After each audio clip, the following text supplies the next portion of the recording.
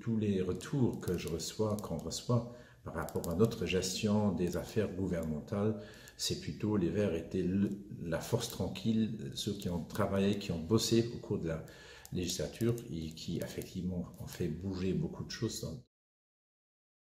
Nous, on n'a jamais promis qu'on pourrait changer complètement la situation au cours d'une législature.